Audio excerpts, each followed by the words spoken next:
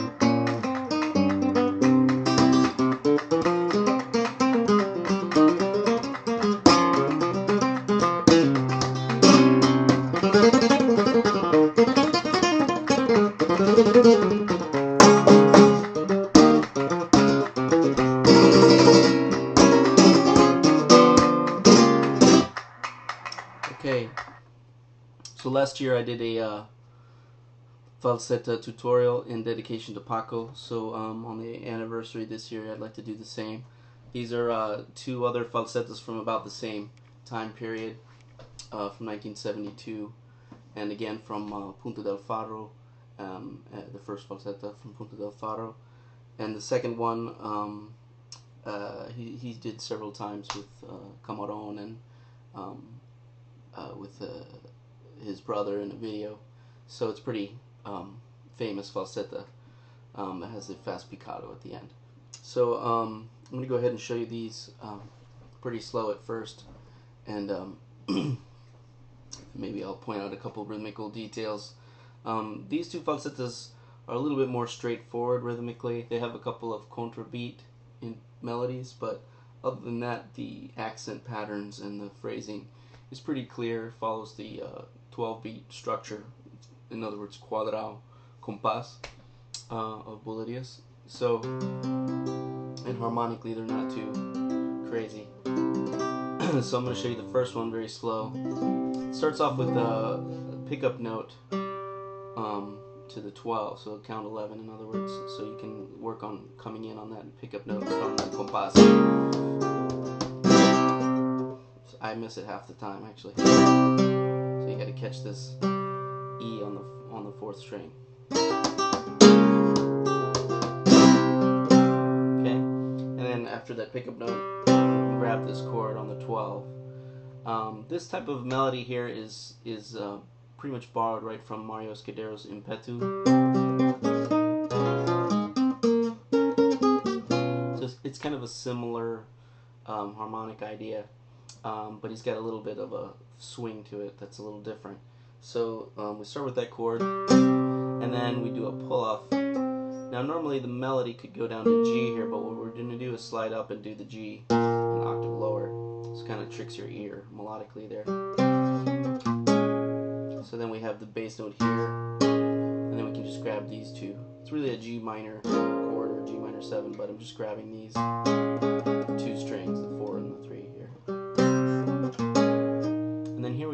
hammer onto the C on the fifth fret of the third string.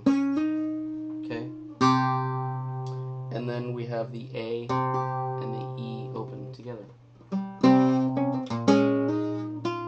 Uh, oh, sorry, there's a D under the bar here. Second string. D, and then A and E together. Okay? Now you do a little answer there 7, 8, 7, 8, 9, 10. Okay, and I just do an AMI type radio here.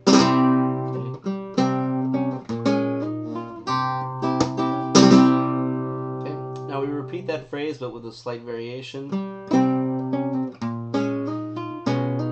Okay, now that's actually a little trickier than it looks. It starts the same, but here we do, instead of like uh, quarter notes, like right on the beats, we do it double time. And then we're going to change the G to a G sharp, bass note here,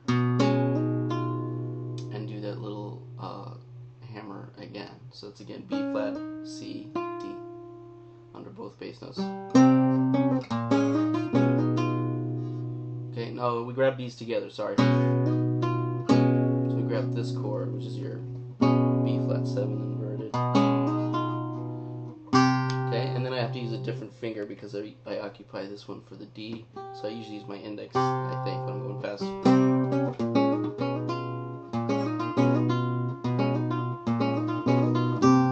Or actually middle, thumb and, and middle. Now here, it's interesting, instead of doing the little tapping or rajeo answer, we just do a little arpeggio.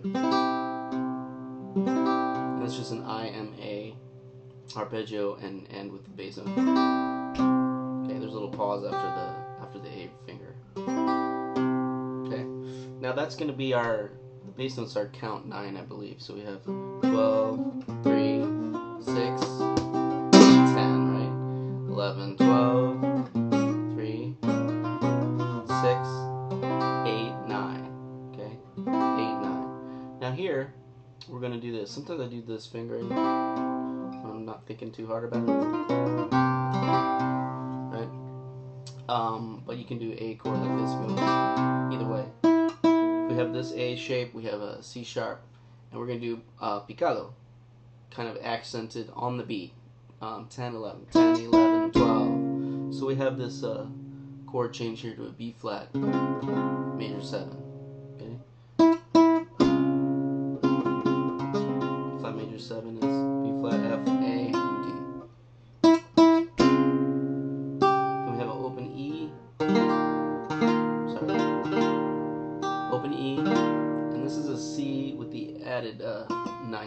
The D note here. Okay. Now here where it gets a little bit interesting harmonically, we have an F bass note and a C sharp up top. So that's actually an augmented interval.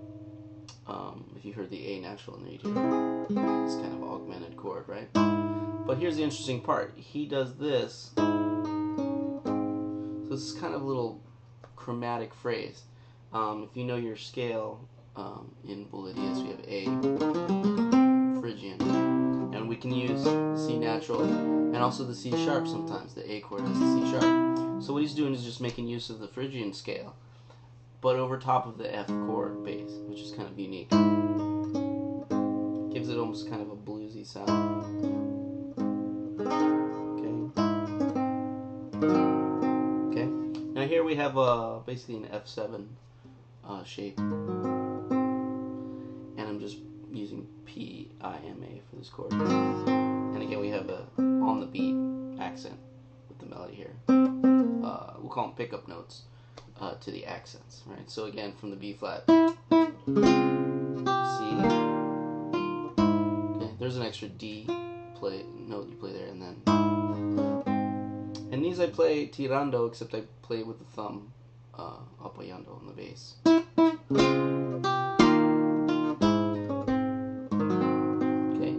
Break the chord or grab it however you like. I think breaking the chord is nicer. You just have to get it a little early in the time. Okay, here's another Escudero kind of phrase, like from Impetu, where we have the G minor bar, a hammer pull on the third string. Uh, we got the A on the with the pinky, and then we have our B flat inverted, normally like this, right? But we're gonna add the C note, so it's actually a ninth. B flat ninth. We have the nine and two octaves here. Okay, one more time.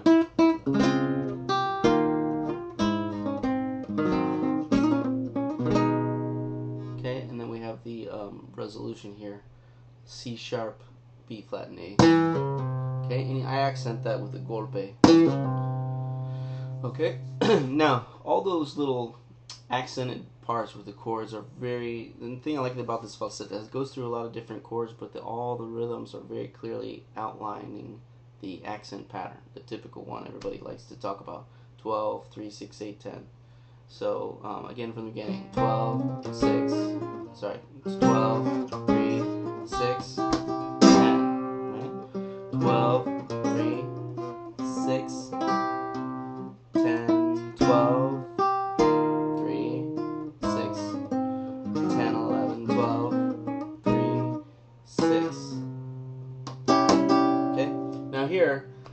at this point, I have time to do just this little bit of a little uh, accent there on the 7 8. This is 6, 6, 7, 8. Okay? I guess that open A is 7 actually. 6, 7, 8. Okay, so that's 8 and actually 8 and. Now, we're going to leave a space for 9, and again, we did those little accents 10, 11, 12. This time, we're going to do a hair early. Okay? Okay, and because they're on the contrabeat, now we have to do three of them instead of just two. So if you remember this part, it was just two. 10, 11, 12. Now we're like and 10, and 11, and 12. Alright? And this is where it gets a little trickier in terms of syncopation because you don't want to fall off the beat.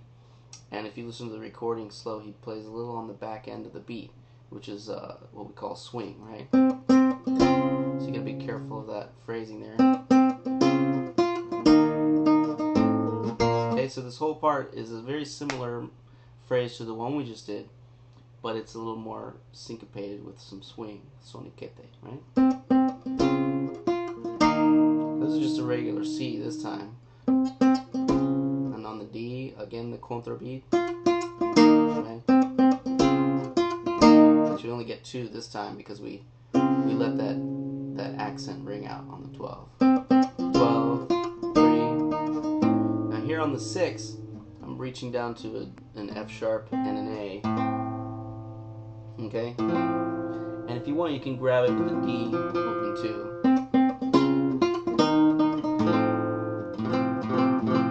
Or you can get all four strings.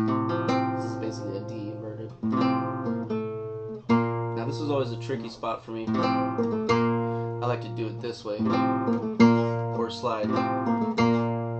Doesn't really matter how you get to the G, but you only need the G in octave, So you just have the third fret and the open G there. Okay. Now again, uh, we're in the same spot here. That's our resolution. Um, but we're going to have those pickup notes on the contrabeats again. But this time it's just the open G string. So our left hand is free, but we still need to feel that swing on the offbeat. Okay, so now we have the open G and we can just slap on the, the bar for the 12th beat accent. Okay, and then the melody, it comes up to the C on the 5th fret here.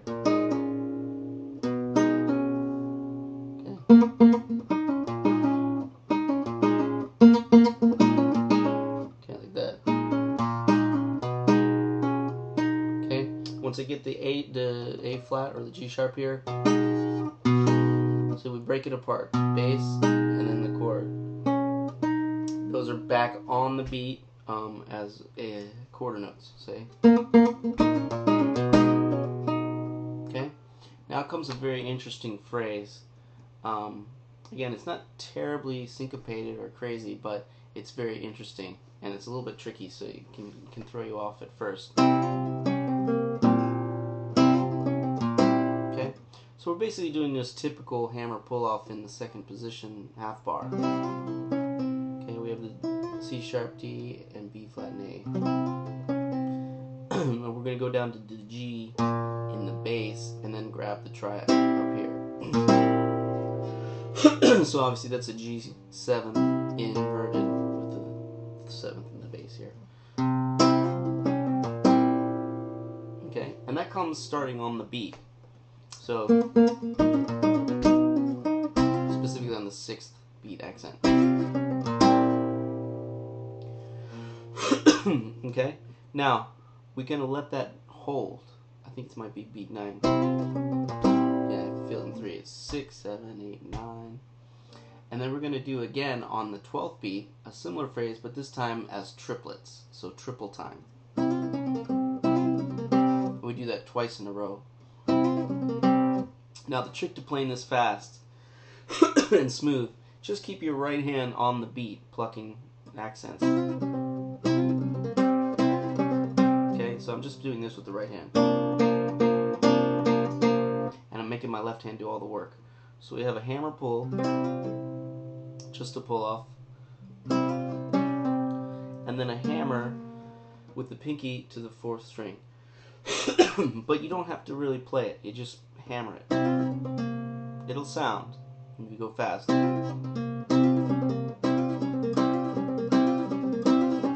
can practice that as an accent, as an exercise.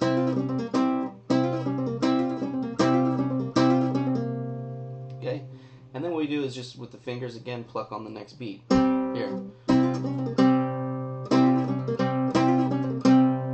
Okay, and you do that twice in a row. That'll be your 12 and your 3 accent, okay? So again, from the 6th beat, okay, that one's slow, those are like eighth notes, or yeah, regular eighth notes, and we do with the triplet phrase.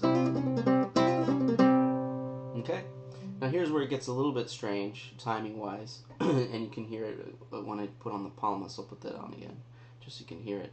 Um, we have a low E, and we do it again. But the thing about it is, is that low E kind of shifts things over into a weird place in the compas. Okay? It's almost like it comes in the wrong spot. And what we do to make up for it is we just wait. We'll wait as the compas goes by, uh, two beats, and then we get on back on track with the 12th beat with the next phrase. And that phrase is going to be the same kind of pattern but up a fret here on the third fret. Okay, and it's diatonic, meaning we keep all the notes in the scale, but we move up, so it's a different fingering here. So let me go through that part. Okay, now this time instead of plucking that last beat, I'm still doing this with the right hand. This time I'm going to play a single note here, or you can do a tirando if you want. But then we're going to go into a picado right away. So that's important for the right hand to understand. Okay, something like that.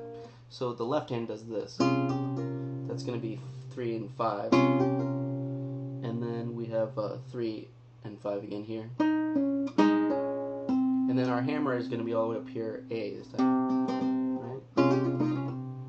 Now here's where our single note comes in And then we do picado. Okay, going to start down here, okay? And picado is going to be the fourth string, whole steps from the third fret. And then we just have two notes here, then the D here under the bar. And then we're going to skip up to the pinky on the sixth fret. And then we'll play the fifth fret with the bass down here. Now you gotta be careful with this part because we have to jump very quickly after this. So we pull off to that beat, but it's almost like you can just barely get it in there because we gotta jump right away down here to the first position, okay? Okay, that's a tricky move that you want to practice a little bit.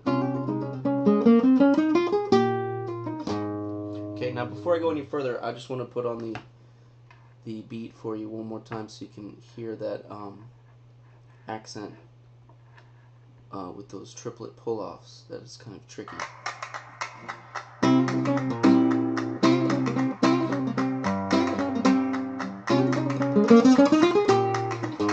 Okay, one more time. You can start on the 12 or the 6, it doesn't really matter, it's, it's a pretty symmetrical phrase. I'm going to start with the slow part and then the fast triplets again.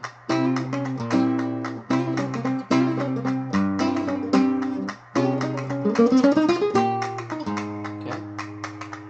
Um, we'll do it a little bit slower one more time.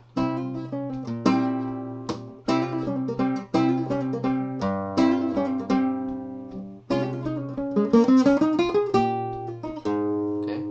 So coming back down here, um, this is a pretty interesting phrase. We're just going to use the thumb here, pulgar, and kind of do this drag across um, apoyando.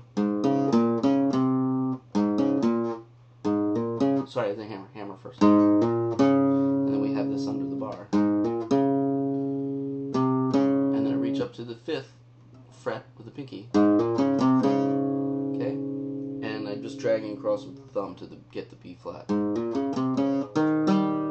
here I have what looks like a C chord shape, but I'm just dragging across the fifth and the fourth. Now here's a little trick. You got to jump up to the third position to get this chord. It looks like a G minor, but it's really just a B flat because um, I'm only playing from the fifth string.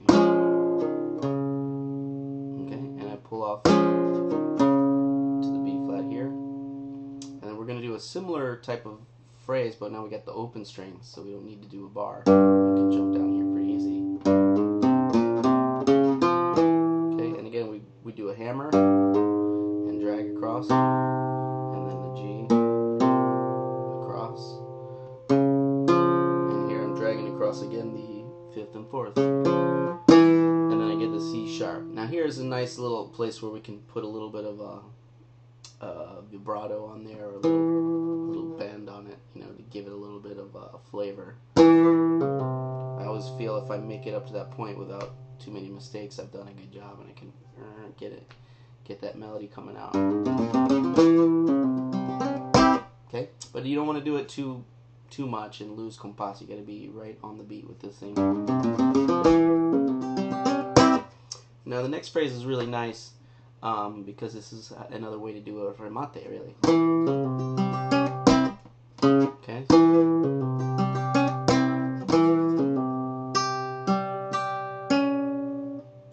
Okay, this little staccato punch here. It's really nice.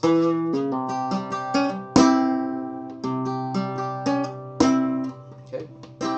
Now, that's going to be our 12 beat, I believe. That's, you know, typical remate.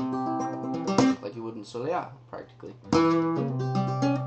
So we do this little phrase, which I really like a lot. Okay? And this is a very nice, you know, old school Politeus type of phrase that goes one, two, three, four, five, six, seven, eight, nine. Just like uh, Escobilla for the baile, right? Okay, one more time. And I'm just doing AMI here. PAMI. I just do hammer from nowhere. And then here I reach over and do a whole steps this way. Because my pink, my middle is already here. Okay. And here's our famous uh, uh, remate arpeggio.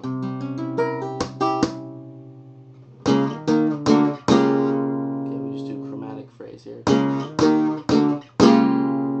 Okay, and then we do this picado. This is always a tricky one for a lot of people for a couple reasons. You got to move your arm up to get a good orientation on the strings.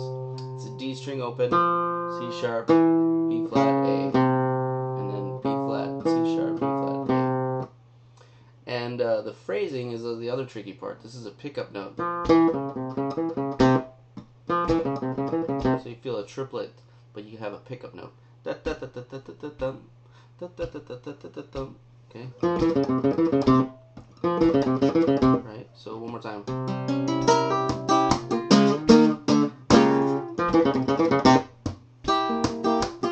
Okay, and that's the end.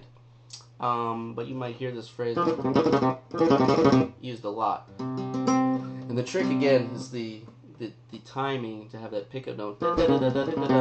Sometimes I might be a little bit slower with that first note, but you, once you get to the C sharp, you got to do clear triplets. Bop, bop, bop, bop, bop, bop, bop.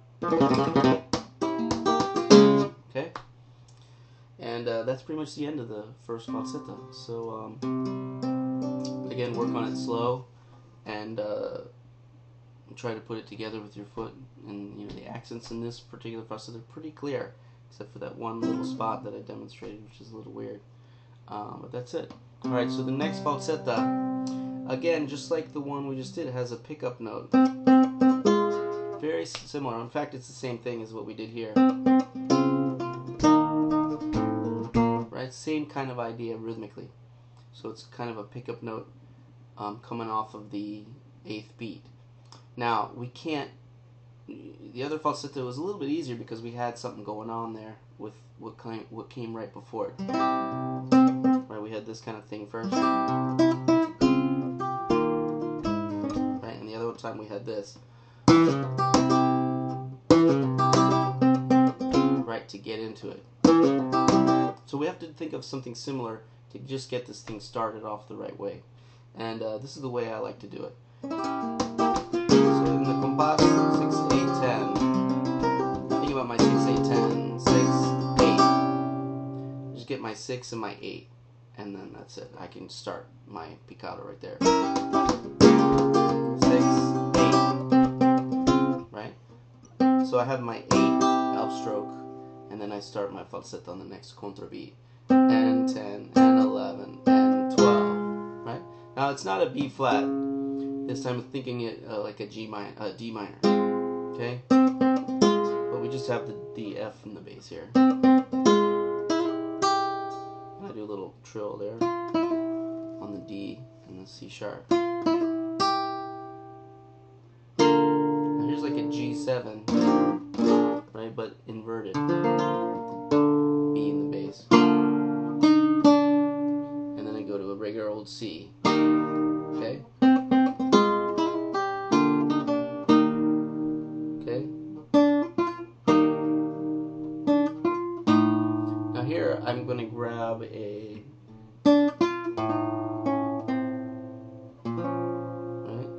This is going to be a F sharp in the bass, like a D, D7 inverted.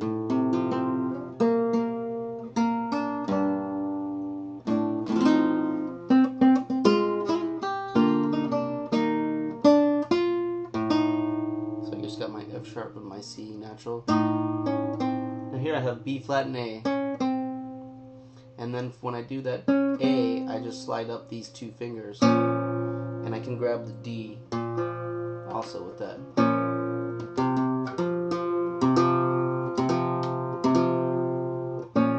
Okay, so it's almost a uh, Baroque sounding cycle of fifths. This is a typical cycle of fifths.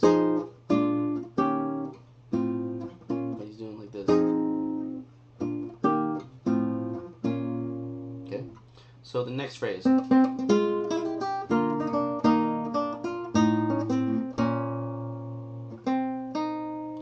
This guy back again, and here I like to do an E with the B flat. And here we just have a chromatic phrase. Okay.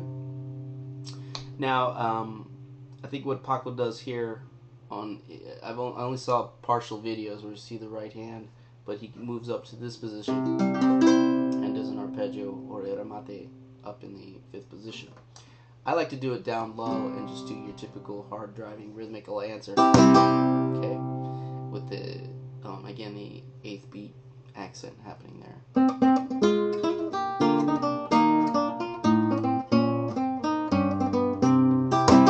Okay,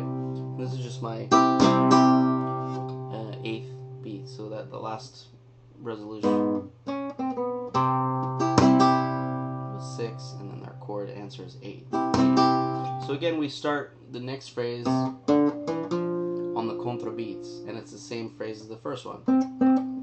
It's just now we're changing notes. So don't let that mess you up. If you want to, you can use the open E maybe to keep you on track. That helps some people keep on the beat um, more clearly. So anyway, um, again, this is going to be N10, N11, N12, N12. Okay, and it sets us up for this D minor triad here. Okay, that we're going to play. This is all pulgar, this part. Okay, and you might have heard this in an old Sigiriya. So he's kind of uh, evoking that kind of arpeggio melody with the pulgar. Now here it gets a little bit a little bit syncopated. He's going to use the open G on the contra beat. So we stop on this note, and those are our little contra accents. Okay. Now we're going to do another pull off. And this pull off I like to accent a little bit with a golpe.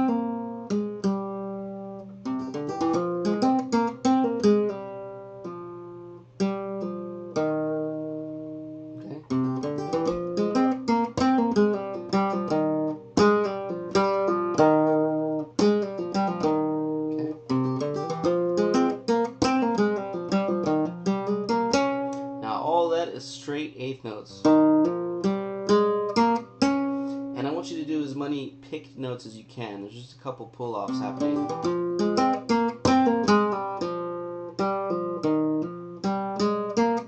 Okay, there's a hammer here, and the rest I pick it up to the F, open G, and we jump up to the B flat. Okay, one more time.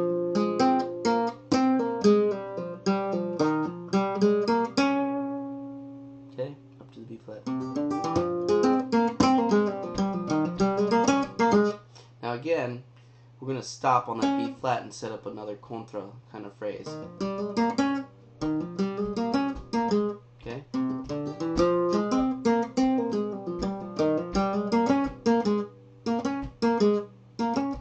Okay, so you got to get feeling that time. We got a little click in between the notes there.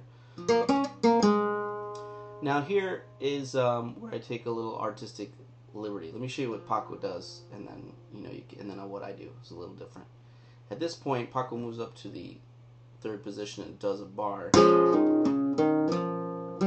and does our scale like this. Very familiar kind of phrase. Pull off down to the B flat, and then just go up the scale with the pulgar up to the F on the D string and then jump up with the pinky to the A note, and then back down. In an arpeggio kind of way rather than a scale way. So A, F, D. Okay, one more time. Okay, and we do another pause here on the contra beat. It's very similar to this one.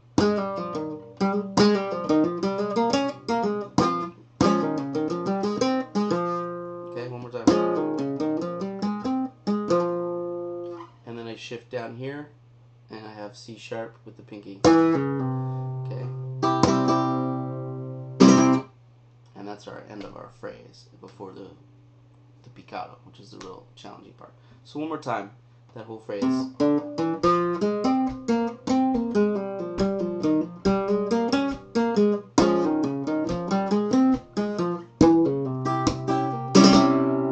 Now what I do, I say I take an artistic liberty. Instead of playing this here,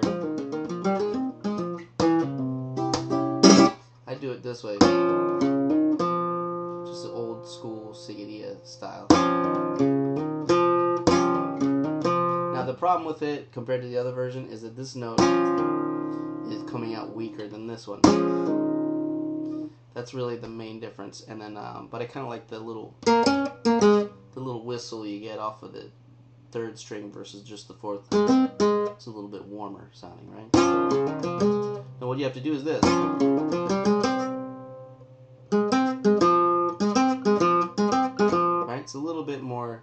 Challenge for the thumb, I think. But I like the sound of that one a little bit better than this one. So I'll let you make your own mind which one you like the sound of better. For this. Okay. Now here's the picado. Again, um, I take a little artistic liberty and I'll explain why in a second. Um, pretty much this is the way Paco's doing the picado. Start with the M finger and alternate. Okay, this is after the 12 beat. So 12 and then we start on 1. So this phrase is very much like a solea escobilla. 1, 2, 3, 4, 5, 6. Right? 7, 8, 9, 10, 11, 12. 1, 2, 3, 4, 5, 6. So there's three uh, rounds of six phrases. And they're right on the beat. 1, 2, 3, 4, 5, 6. And they stop on the 6 and the 12 and the following 6. Um, this is the right hand pattern. Start with middle and alternate. Okay. Now, if you uh, let me show you the notes slow. It starts with D, open. D, E, F, up to the G, up to A. Okay, and then we go back to open G. And they're triplets, one and a two and a. Now here's our accent, beat three, the high note. Okay, it's a B flat. We come down to F, and then we go back up to A, and down the scale. But we end on the sixth beat with C on the third fret. Okay, one more time. One, two, three, four, five, six. A little slower. One, two, three, four, five, six. Okay. Um, that's that's the first phrase he does. Then he takes that same exact phrase and moves it up to the fifth position on the same strings to the exact same thing. Okay, exactly the same phrase, just in the fifth position. Okay, now the last one is where I really like to change things. He does a completely different pattern here, um, starting on the C note. Okay, but still the same right hand, alternating with M.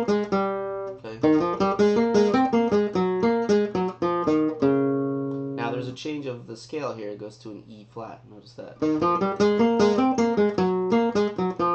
Okay, one more time. One, two, three, four, five, six. Okay, one more time. Now, for me, when I play fast, I'm not I'm not as comfortable with the fast picking as some players. I, I learned a lot of patterns with a pick when I was younger, so it, it makes sense for me to translate patterns to the left hand in a kind of a repetitive way. So what I did was I changed well I changed a couple things. First of all, I didn't like doing this other type of voicing for that scale because this one starts on the lower note and then crosses over at the end. I wanted to do the same kind of thing for the last pattern. So instead of doing it in this position, I do it in the third position. So I do whole steps here. So basically I have that same phrase, it's just it's diatonic now rather than symmetrical. But then when I get to the E flat, it turns into a, the symmetrical pattern. So I have the sixth fret here. So I end up on the B flat down here in a different position. And for me, that just made a lot more sense, uh, especially for my picking, my fast picking. But let me show you one way I, learned to develop the speed on this is to just do it as a legato, the whole thing. And this is a way you can actually interpret it if you feel like you're not at the speed yet with the right hand picados. And as a legato, this is what happens. So you get to do a little drag across here with the thumb. So that's something you can practice and get the speed up.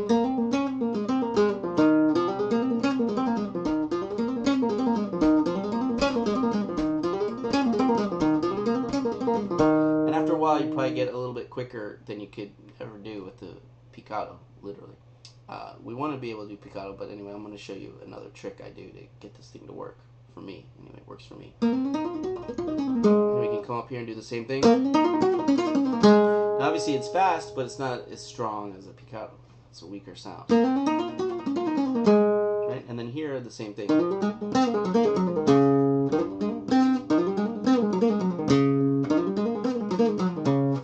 Not be comfortable with this whole step, so you can do it this way as well. What I recommend though is to do this fingering here when you get to the E flat change. That means you're to have to end up with this kind of weird note with this finger. If you can avoid it, try to end with the pinky. Okay. Anyway, so those are my three phrases. Picado.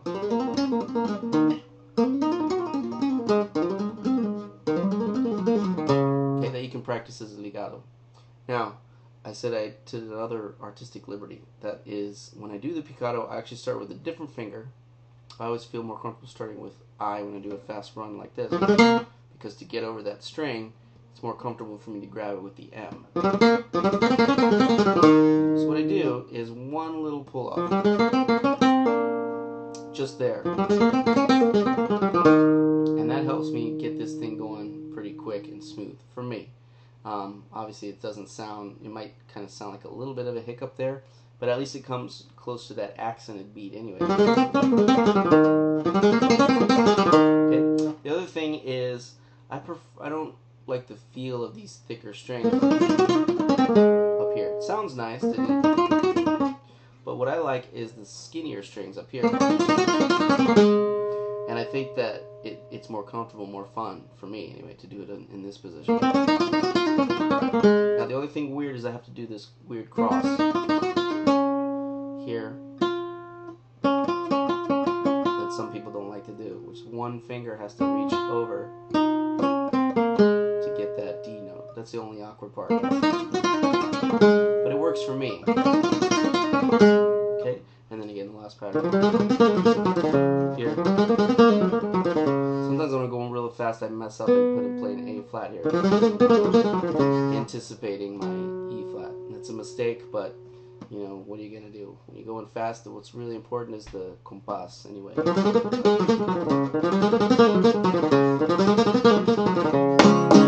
Now, the chords at the end, I am doing uh, very different because I end up in this position.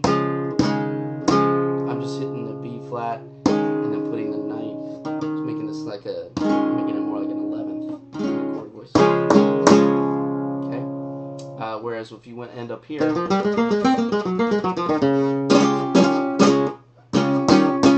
think Paco does B flat, C, B flat like that. So I'm doing this. It's a little bit different.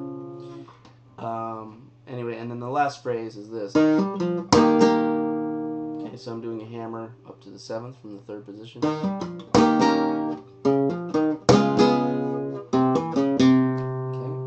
And that's it. And then, uh, uh. And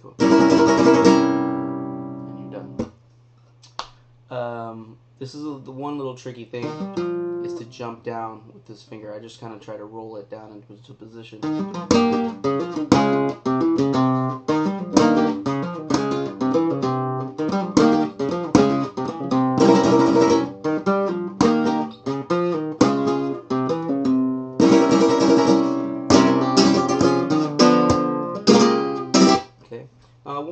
This falseta a little bit slower. Um, just so you can hear how it flows at a slower tempo. Actually, you know what? Let me use a uh, compás track um, to make it like crystal clear. Um, what's going on with this one? So we'll do uh, solea por buleria like tempo. This tempo. 8, 9, 10, 11, 12,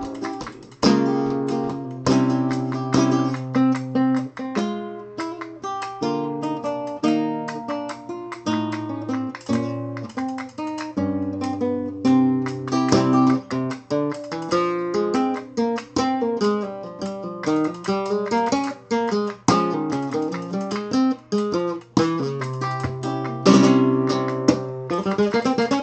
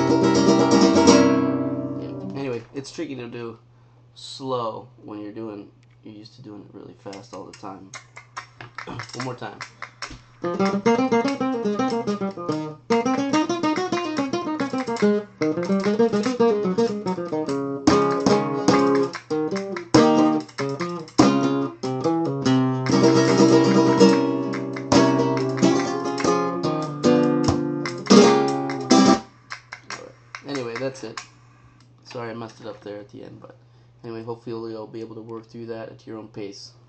And uh, we'll see you next time.